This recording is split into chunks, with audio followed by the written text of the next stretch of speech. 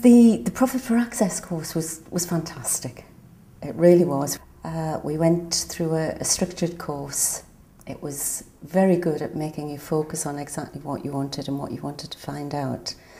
Uh, we found out that we needed to, to sign certain things that we, we should be doing probably more than we we had at, at the time.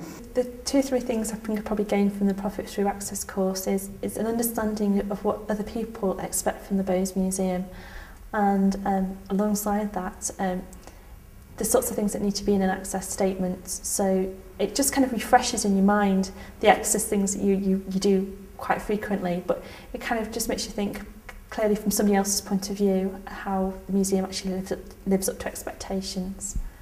I started looking at our facilities through other people's eyes, going and, and looking around at things and working out what was difficult for people who had mobility problems and also sight problems. It was great. I, I mean, I can honestly say, hand on heart, that it's probably one of the best training courses that I've been on in 20 years of customer service training.